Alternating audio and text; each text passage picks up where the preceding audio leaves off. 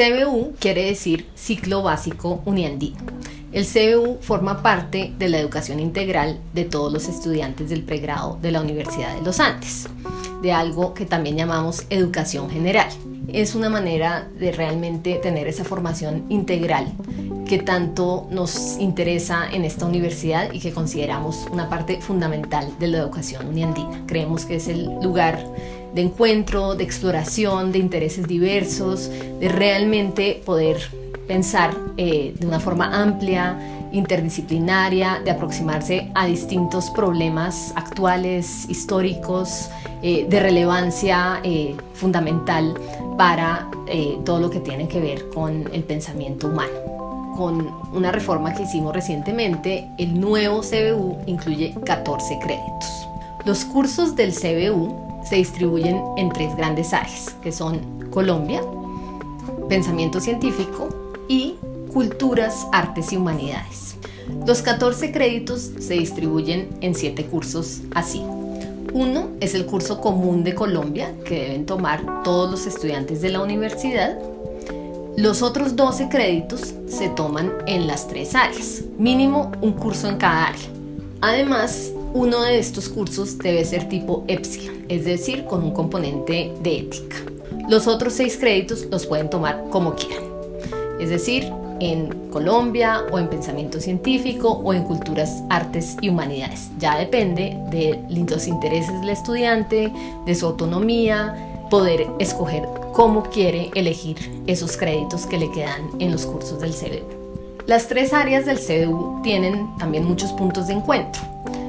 Sin embargo, pues cada una también tiene una forma de entenderse. El área de Colombia incluye cursos muy diversos que tengan que ver con Colombia, desde arte en Colombia, geografía de Colombia, que realmente se ocupan de distintos aspectos eh, que nos hacen preguntarnos por Colombia. Es una apuesta a la universidad con el país, de enfrentarnos a las problemáticas del país, de pensar el país desde su historia y toda su complejidad.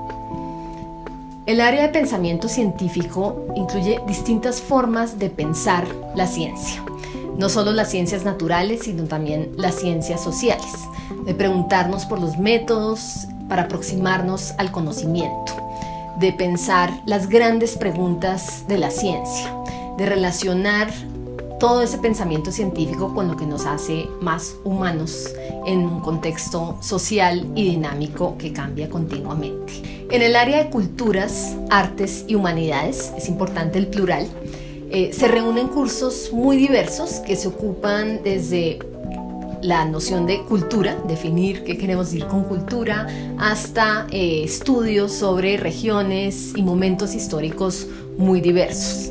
Eh, desde, puede haber cursos sobre el arte en Asia hasta filosofía no occidental y también tiene una aproximación desde distintas disciplinas, eh, tanto humanísticas, pero no solamente, porque la razón de ser también de esta área es establecer conexiones interculturales, eh, pensar eh, de forma amplia, haciendo conexiones históricas, geográficas, pensando en el intercambio cultural. Realmente es una idea o es una manera más bien de abrirnos hacia el mundo. Con esta nueva oferta queremos invitar a todos los estudiantes a realmente conocer lo que quiere decir el CBU, a entender por qué es tan importante para nosotros como profesores, como comunidad uniandina y a explorar toda la diversidad que tiene esta oferta a través de la nueva página del CBU, donde podrán ver a sus profesores también contando por qué es importante el CBU para ellos y qué tienen sus cursos eh, que los hacen cursos característicos del CBU pensados para todos los estudiantes de todas las carreras de esta universidad.